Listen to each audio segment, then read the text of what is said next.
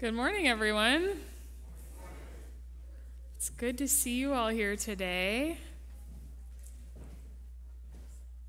I welcome you this morning to the Congregational Church of Amherst, an open and affirming congregation of the United Church of Christ, where no matter who you are or where you are on life's journey, you are welcome here. Welcome to those of you who are here in person with us this morning. And welcome to all of you who are joining us live on Facebook or later on YouTube. Thank you for setting aside some time to be here in worship with us today. Today is the seventh and final Sunday of the Easter season, which is the time in the church calendar when we celebrate the impact of Christ's resurrection on our lives today. On this last Sunday of Easter, we are celebrating Christ's impact by welcoming our second lay preacher of the season, Susan Holden to share a homily with us this morning about how the church and serving the church can change our lives. As you will hear in her sermon, Susan has worn a lot of hats here in our community. Just to name a few, she has been chair of the trustees and the moderator for our church. She, sh- she served as co chair on the capital campaign team and now serves as our outreach and communications coordinator making big moves on our World Service team. We are grateful for her good word for us today. As you may know, a little over a month ago, we changed some of our COVID 19 guidelines in our uh, church building space here. We have ramped up some of our safety measures due to the increase um, of COVID cases in our community, and the choir is on hiatus for the rest of this program year. If you have any other questions about our COVID 19 protocols, feel free to check out your bulletin. They're all listed right there. After worship today, you are invited to Fellowship Hour, which takes place in our community room. Our church school kids are in church school right now, and they will meet you downstairs in the community room after worship. This is a time to hear about each other's weeks over coffee and snacks and to get to know each other a little bit better. And speaking of getting to know one another a little bit better, momentarily, one of our ushers will hand you a fellowship pad.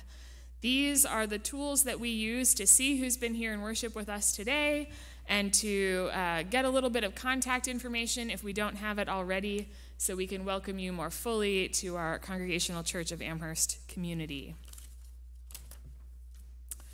During fellowship hour, please stop by the 50 50 raffle table. Um, uh, Sally Hooper is manning this table today for us, and she will share all about how this 50 50 raffle benefits our church. It's run by the Milford Rotary, and um, I think half of the earnings from this raffle come right back to our community. So please participate in that. Every Sunday in June is going to be extra special, so I just want to give you a heads up. June 5th is Pentecost and also Confirmation Sunday. We will be welcoming our six confirmands into our community. Um, June 12th is Children's Sunday when the kids will share with us all they have been doing all year. On June 19th, we have the director of the New Hampshire Council of Churches, Heidi Carrington Heath, coming to preach. And on June 26th, our very own Charlotte Bell is joining us to lead worship. You won't want to miss any of these really special services. Please check out the bulletin or, or, our website for all the ways you can participate in this church community. For example, I know that our announcement about Vacation Bible School is in your bulletin, as well as an invitation to join our outside lawn mowing team. But for now, I invite you to listen to Michael play our prelude this morning and center yourselves for a time of worship.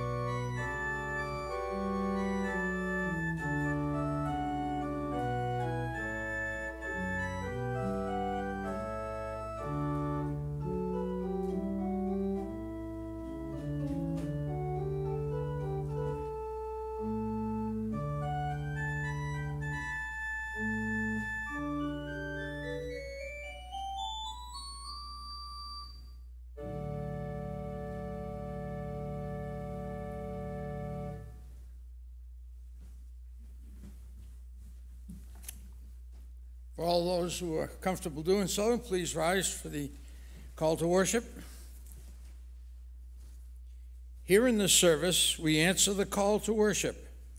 Coming to this place to thank God for all the good things in our lives. We answer the call to pray. Coming to this place to ask God to strengthen, heal, and forgive us. We answer the call to sing. Coming to this place to join our voices as one and feel the power of this community. We answer the call to serve. Coming, Coming to this place to build God's kingdom on earth. Let us our work worship empower us to live, live into, the, call of God.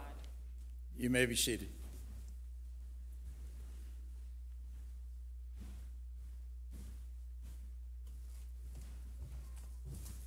Please join me in our prayer of invocation and the Lord's Prayer. Holy God, you who made us and love us unconditionally, join us here for this time of worship. We do not come here as blank slates ready to be written upon. Rather, we carry all of our joys and disappointments, fears and failures to do lists and distractions, hopes and questions into this hour with us. With this in mind, we pray that this service meets us where we are and brings us closer to you. May this service enlighten something within ourselves that is shadowed. May this service uplift something within ourselves that is downtrodden. May this service fertilize something within ourselves that needs new growth. We pray all this in the name of Jesus, who taught us to pray, saying, Our Father, who art in heaven, hallowed be thy name. Thy kingdom come, thy will be done, on earth as it is in heaven. Give us this day our daily bread, and forgive us our debts as we forgive our debtors. And lead us not into temptation, but deliver us from evil. For thine is the kingdom, and the power, and the glory forever. Amen. My friends, Christ said, Peace I leave you, my peace I give to you. So I invite you to rise up in body or in spirit and share the sign of peace with the ones you are with. May the peace of God be with you.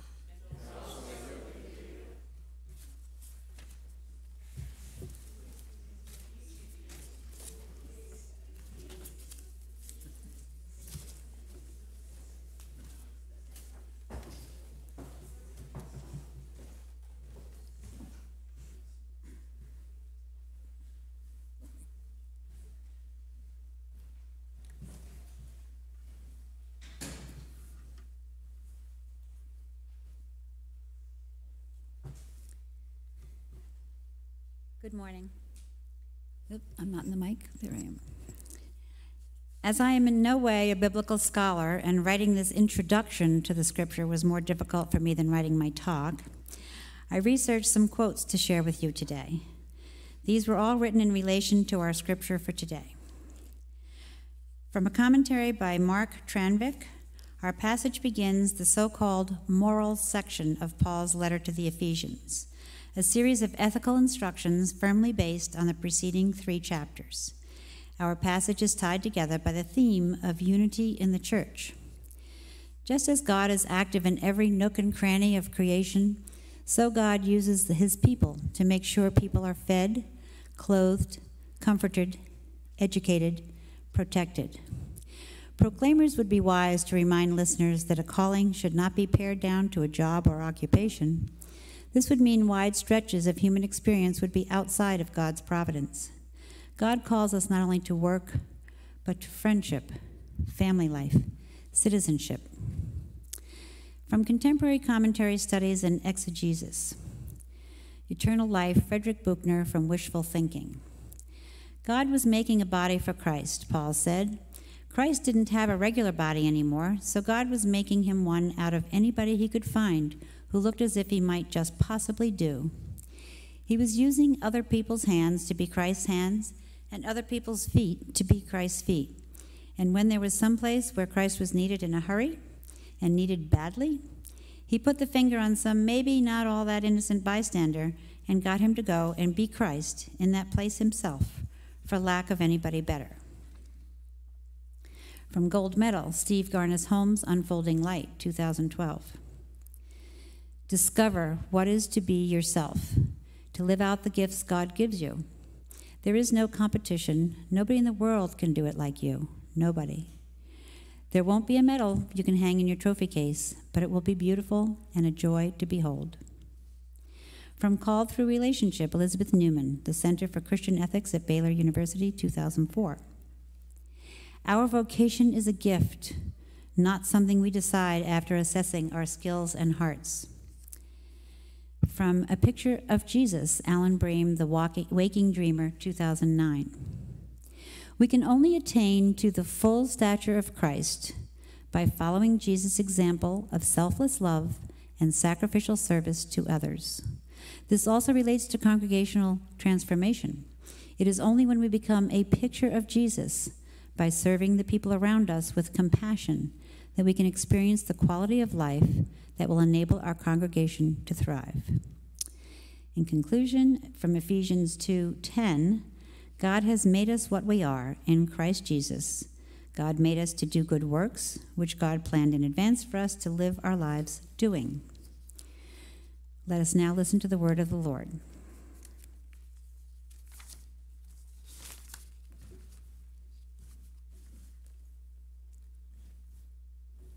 Our scripture lesson this morning is from Ephesians chapter 4, 11 to 14. And Christ gave gifts to people.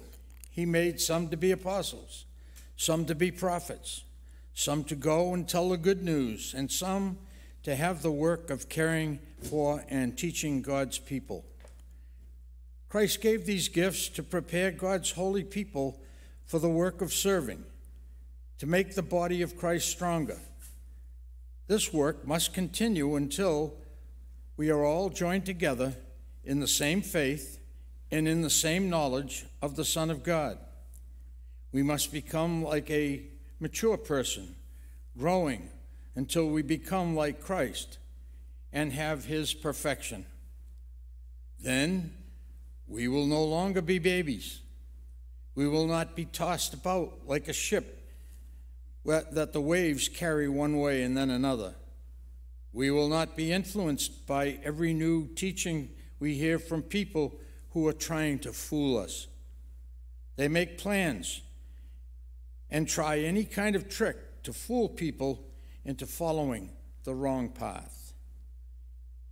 Here ends the reading of the scripture for today.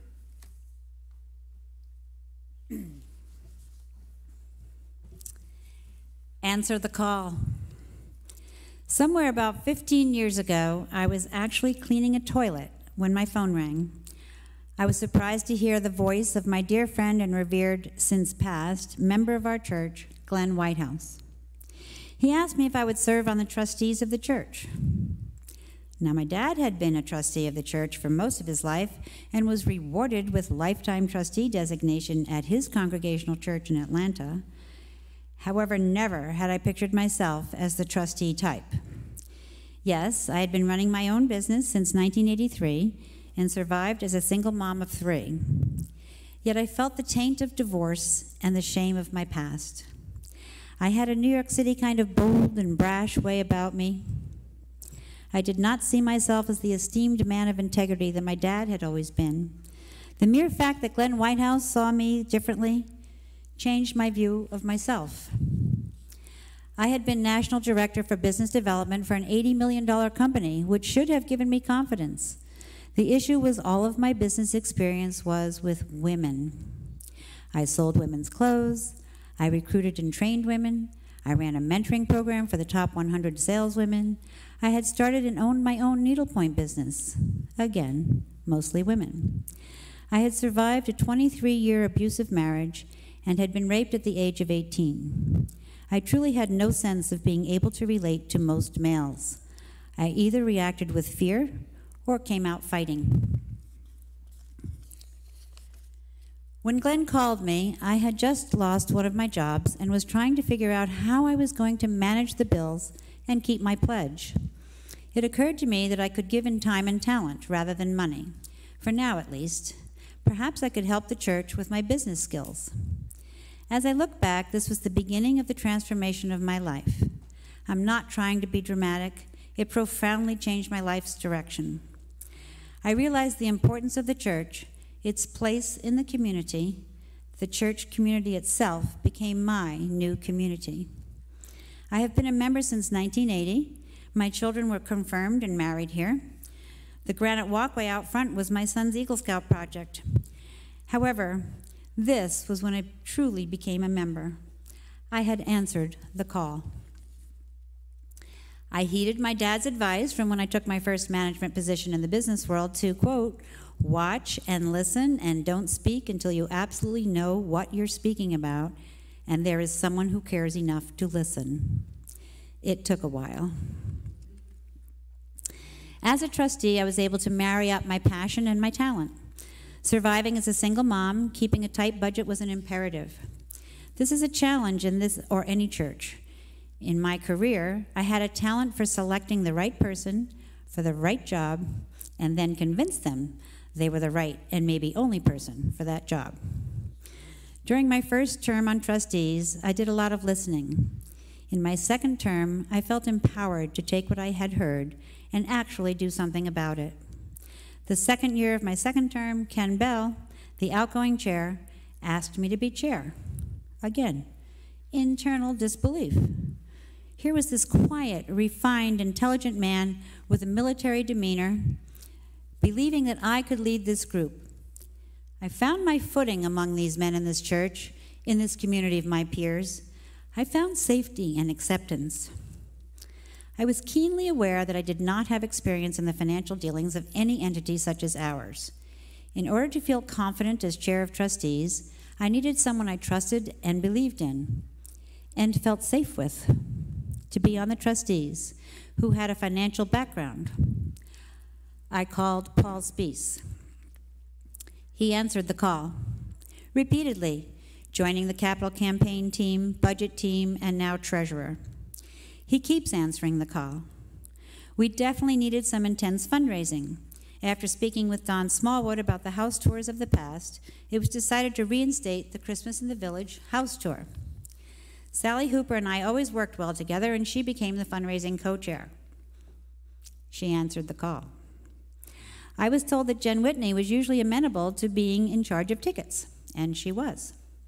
She answered the call.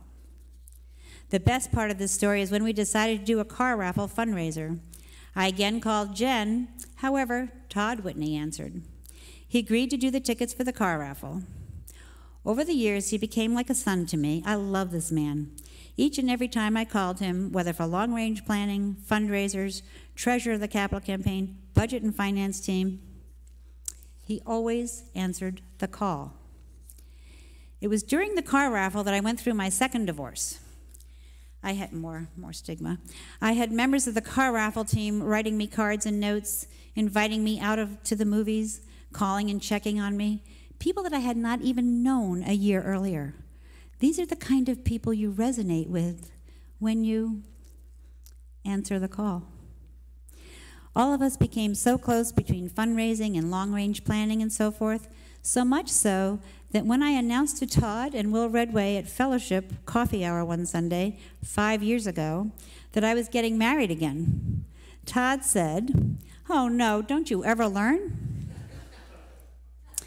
Will was a bit uncomfortable, but I laughed because that was what Todd was thinking and was comfortable enough to say it to me.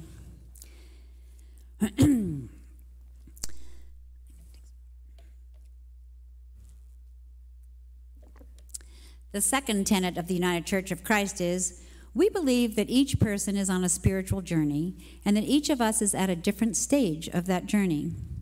The next stage took me to the position of moderator. It was time for bylaw revisions. I asked Don Lyon, a pillar of our church, if he would help out. He answered the call. Along with Herb Archer and Gretchen Piles, this is where the reorganization of the leadership of the church began, and we fine tuned our teams. In 2014, we established the long range planning team. I called Paul Spees, Vicki and Art Leckness, Gretchen Piles, Todd Whitney, who called Will Redway, Sharon Rolfs, Rob Sissel, John Swanson, Terry Beam. They all answered the call.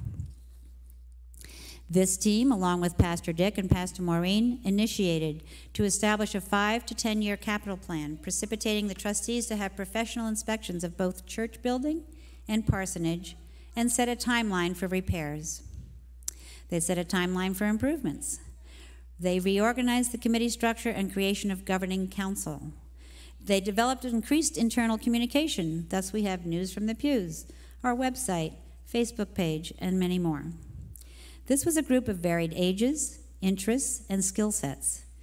It worked like fine tuned machinery, all with the same goal of improving and keeping the vitality of our church. Our church went through a pastoral transition, needs assessment survey, including small group meetings, calling of a new associate pastor. Good job. A CAT survey, which is a congregation assessment tool, UCC leadership training, and all while I, all that while, I was transforming. My faith in people was increasing. My trust in others was growing. My sense of self was improving. The leadership kept hearing, we need a capital campaign. Doug Topliffe, one of the most thoughtful and kind men that I know, suggested that he and I chair this campaign. In my head, I'm like, seriously? Me? Yes, you, Susan, you can do it. You just need Paul and Sue Spees, Todd Whitney, Ann Krantz, Kathy Skoglund, Will Redway, Travis Warren, and Barbara Williams. They all answered the call. Why would they do that? Is it because they too were growing, changing, even transforming by being a part of this larger entity and helping people in our church community as well as our town. Maintaining an iconic feature of the town of Amherst is a heavy responsibility that we all share. Because truly, your own issues and problems diminish when facing this larger good that needs to be done. I know that every time I deliver furniture to an incredibly grateful, previously unhomed family, whatever I have going on in my family diminishes in importance. I feel so grateful and so blessed. From our scripture today, there's an excerpt from Paul's letter to the Ephesians, and Christ gave gifts to people.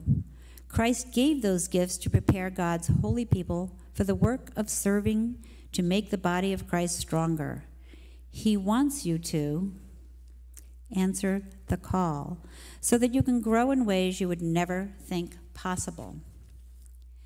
I honestly believe that by answering the call every single time, I was able to rid myself of my ghosts and recriminations. I no longer needed to come out fighting when meeting a man or choose a man that needed saving, a project, so to speak. When you send out a different message, it is seen and heard. When my girlfriend asked Don what had attracted him to me, he answered, her sparkly eyes, her smile, and the fact that I know from all of her work at the church that she has a moral compass. That made me smile. I finally attracted a man of esteem, integrity, honesty, truth, kindness, caring, non threatened, comfortable in his own skin. Need I go on? We were married four years ago on the 4th of July, right here in this church. Don is so much like my dad that my son said he was pop pop reincarnated. It had taken me 70 years.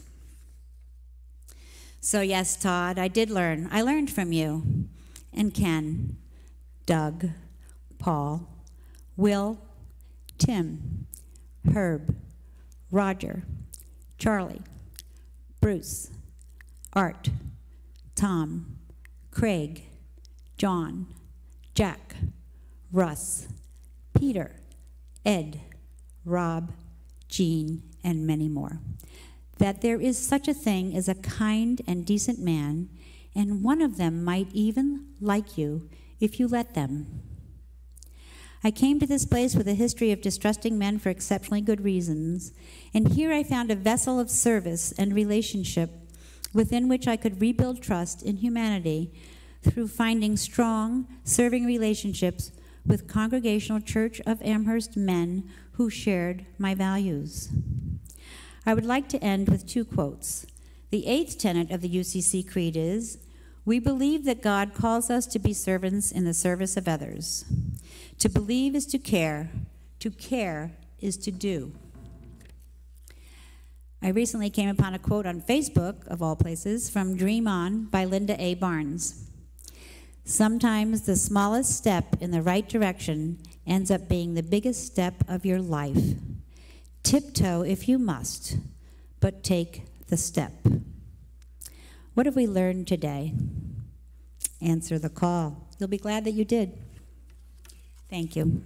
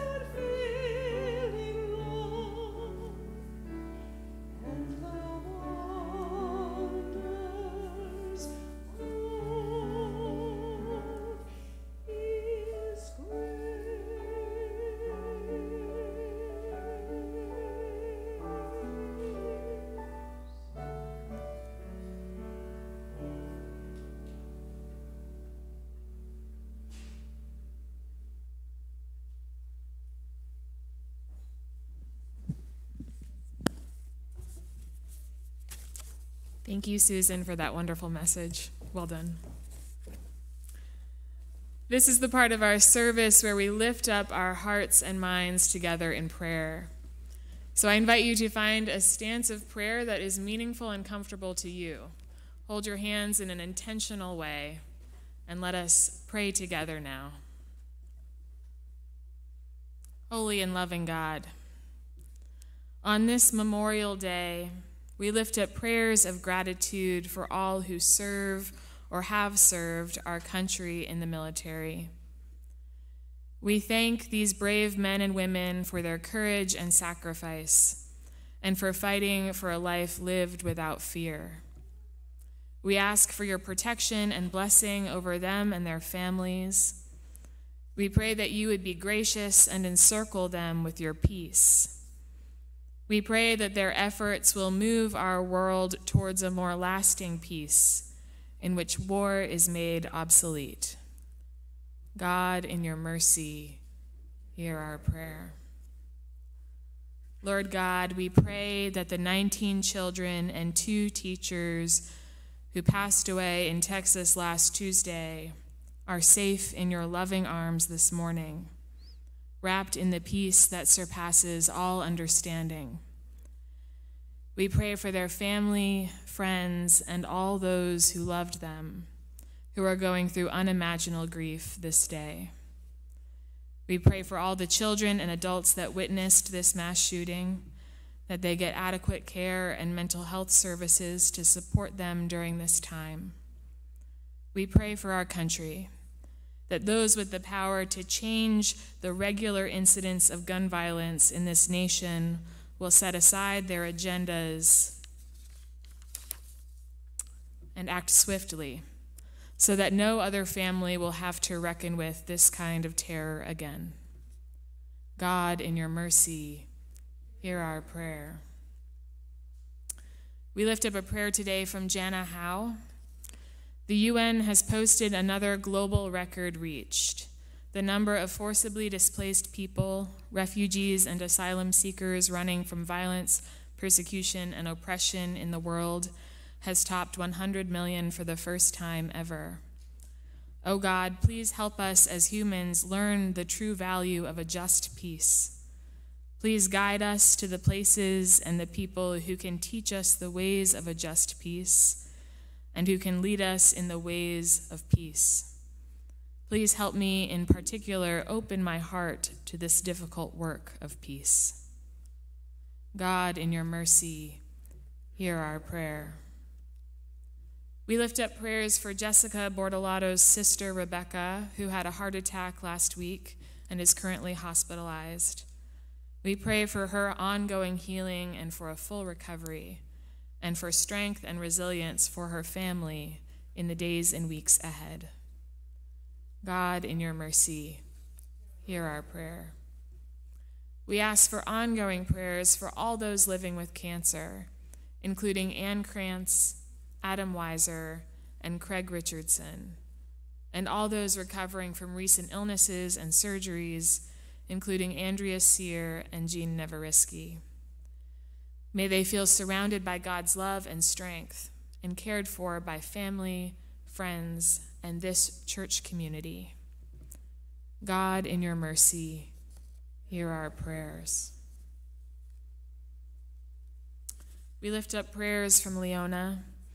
Guard and protect Ingrid and Daniel guard and guide all of my family in the Pacific Northwest. God, in your mercy, hear our prayer. Prayers of peace and healing for the family of Amy Rowe, who passed away this last week after a long battle with cancer. Amy was a longtime friend and colleague of Kathy Skoglund. God, in your mercy, hear our prayer. And now, knowing that when we, when we cannot find the words for our prayers, the Spirit intercedes for us with sighs deeper than words, we lift up the prayers that we hold today in the silence of our hearts.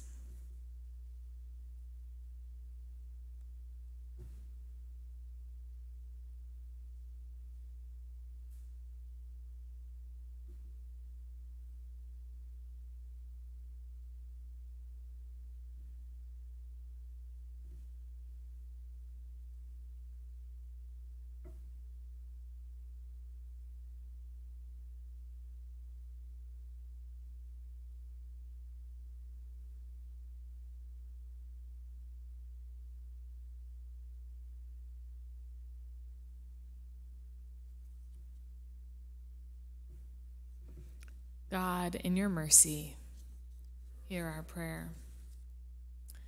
God, who made all good things, God, who loves each and every one of us like your own children, be with us here. Some days, O oh Lord, it seems like the world is falling apart. Many days, in fact, it seems like evil and greed and violence will win the battle for our communities, our country, our world. As we sit by, floored by the horrors of this past week, we know your resurrection promises to us that evil will not overpower good, that death does not have the final word, that love is more powerful than hate. But sometimes it's hard to believe these promises when we find ourselves in the grief soaked presence of our holy Saturday world. Holy One, do not let us sit in our pain so long that we cannot imagine a world without it. Help us instead to see our grief as a superpower that opens our hearts for empathy and keeps us from becoming numb. Guide us to take our heartbreak and turn it into action, to bring justice, righteousness, and love that your kingdom represents closer to us here on earth. Encourage us to answer your call and give us strength and courage as we try our very best to do so. We pray all this in Jesus' name. Amen.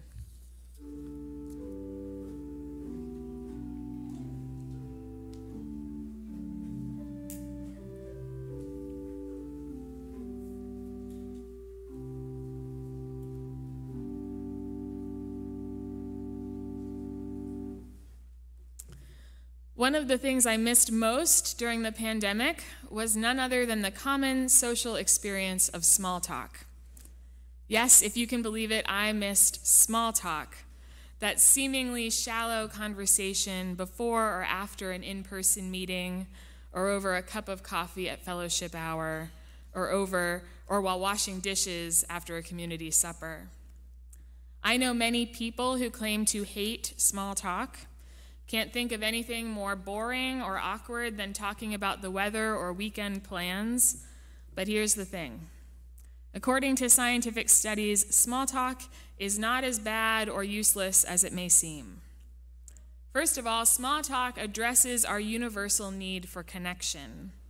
A 2014 study of 50 volunteers on a commuter train in Chicago found that those who engaged in small talk on their ride were actually happier and more energized, believe it or not, when they reached their destination than those who looked at their phones or listened to music.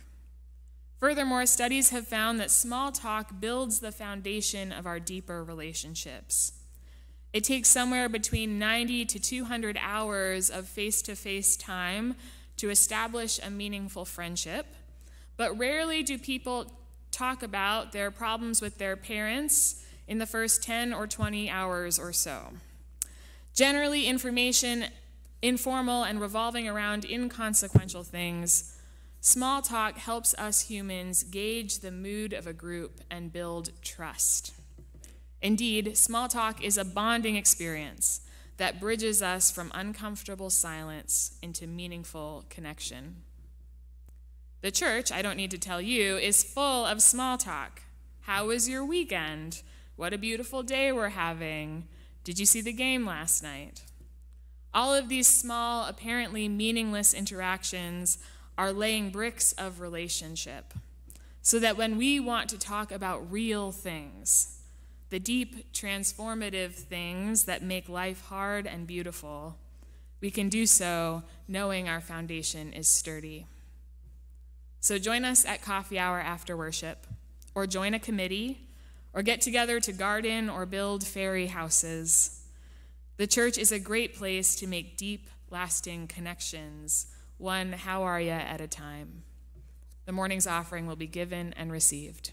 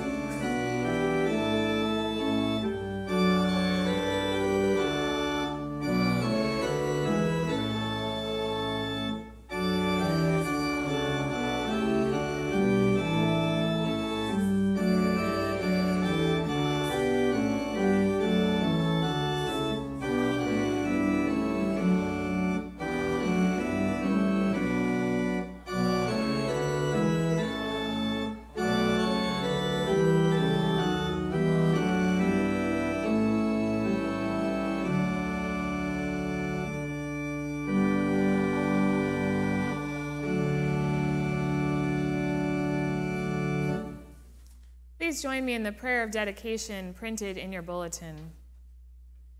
Gracious and holy God, accept what we offer today our checks and cash, our time and talent, our faltering steps, our brokenness, our leftovers, our hopes, our lives. Bless and transform all that we offer and all that we hold back, that new life may be ours to celebrate and share in Jesus' name. Amen.